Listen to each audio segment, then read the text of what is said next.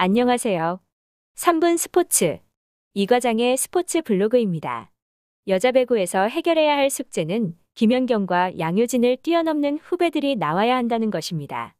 김연경에는 아직 근처도 가지 못하고 있지만 양효진 선수에는 도전하는 후배들이 많이 있습니다. 현대건설의 직속 후배인 이다연과 흥국의 이주아, 인삼공사의 정호영과 박은진 등은 V리그에서도 이제 알아주는 미들블로커들이 되었습니다.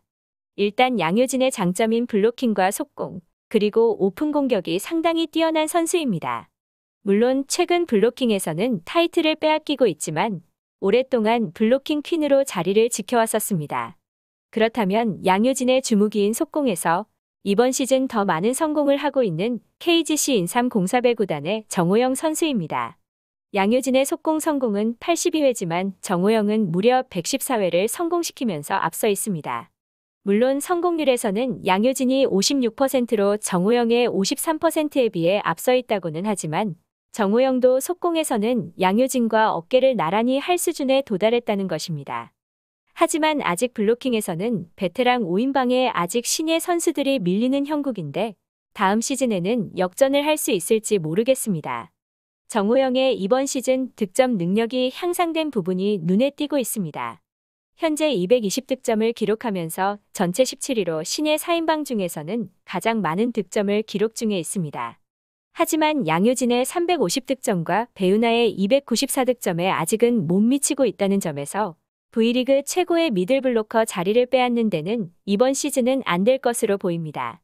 그렇다면 정우영에 비롯하여 이주아, 이다연이 언제 양효진과 배우나, 김수지를 완전히 뛰어넘을 수 있지가 한국 여자 배구의 미래와 직결되는 부분이기에 중요합니다.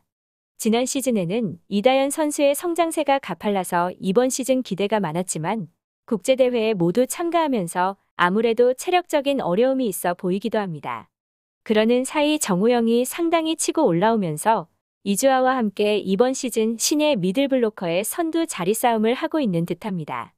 어쨌든 신장이 좋은 정우영 선수가 V리그에서 확실히 자리를 잡고 있어서 이번 시즌에 있는 VNL 대회와 아시안게임에서도 기대를 해도 좋을 듯합니다.